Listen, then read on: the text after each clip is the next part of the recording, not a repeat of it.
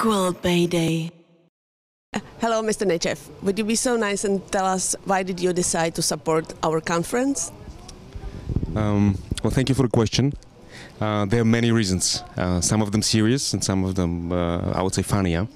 The it started first with uh, actually a, per- person from the organization, Jana Matoshkova, who came and asked for help. You know, and that's one of the messages also uh, we're gonna deliver today is that you need to there and ask for help.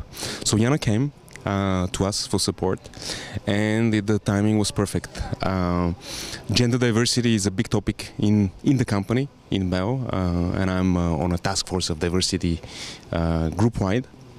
And then in addition, I personally do care a lot for this topic.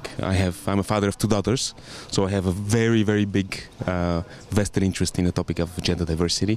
So um, this is my answer. It's a um, it's a corporate priority. Uh, it's a corporate conviction in Bell, and it's a very deep personal one as well. Thank you. We are very happy to have you, and we are looking forward to see your duet.